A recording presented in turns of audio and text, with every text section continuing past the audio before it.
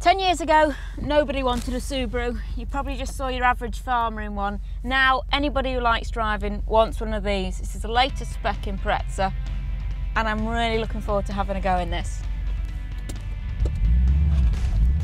A Subaru Impreza and a Mitsubishi Lancer are probably the closest thing you're going to get on the road to a rally car. Purely because we use them in what they call Group N specification, which used to be known as showroom spec. So the four-wheel drive, turbocharged, and then what we go and do is we put suspension on them that you can change. We'd put a, a gearbox in them that isn't like this standard, but to be fair, this is pretty good actually. This is seems to be quite a close box, changed from the old Subaru that we used to call a bit like a chocolate box they just pull so well. But if you wanted one on the road, they are a little bit leery for my, you know, you're going to get picked out by people and you're going to get stared at. Well, there's no point comparing fuel consumption because no matter how you, if you drive it around like a bull in a china shop, then it's going to be always going to be useless. You drive it normally around town, you're probably going to get, I reckon, a good 23.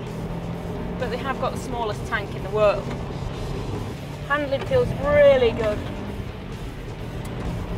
It feels a tiny bit tail happy, but that's because this car is quite light.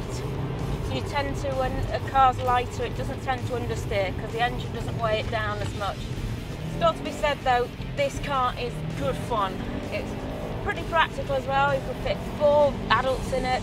Um, and those sort of things help you overlook the fact that it's still a bit tinny and okay they've put a CD player in it but the speakers aren't great.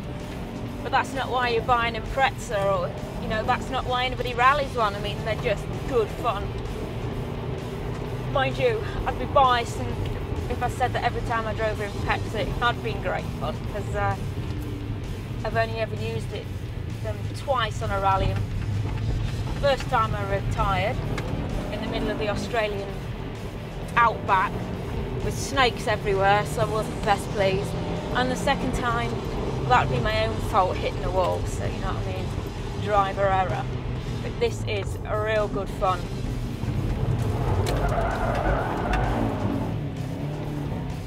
Cool, this is good fun. The big man up there, he's gonna want the car back now. Not a chance. Just pretend we're gonna give it back.